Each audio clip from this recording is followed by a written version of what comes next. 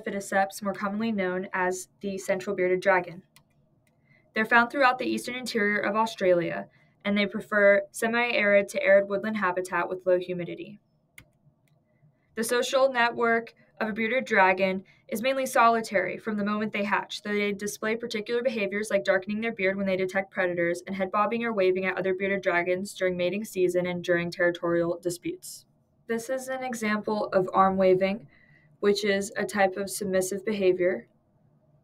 And this is an example of head bobbing, which is a dominant behavior. Dragon's umwelt is chemosensation.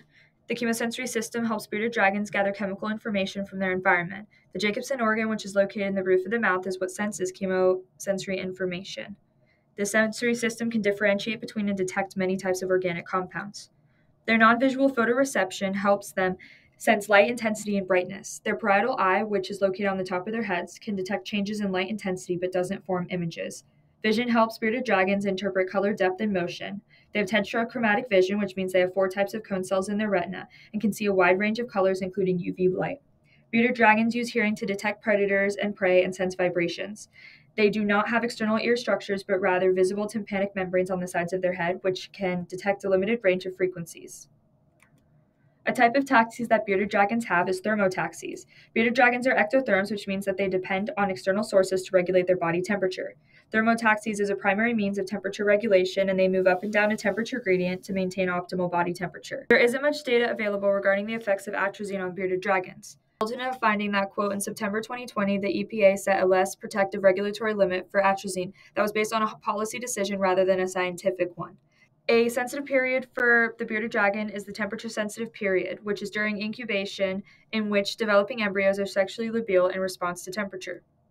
A scientific question I might ask is the causal question Does temperature affect Pogona vitticeps' rate of movement?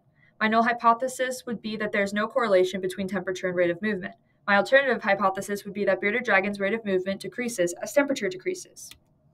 Here are the behaviors and descriptions that I would include in my ethogram.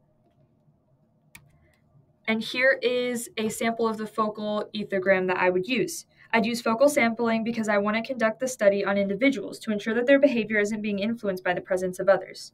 To enhance the quality of my observational data, I would train observers on using the ethogram I constructed until they reach a 90% accuracy rate. I'd use an opaque background on the perimeter of the enclosure so that shadows do not influence behavior, as well as install cameras to view the test subjects so that the presence of an observer does not influence their behavior. Lastly, I would install digital temperature sensors to measure and ensure that temperature gradient is being maintained. Here's my bibliography, and here are my photo and video credits. Thank you for watching.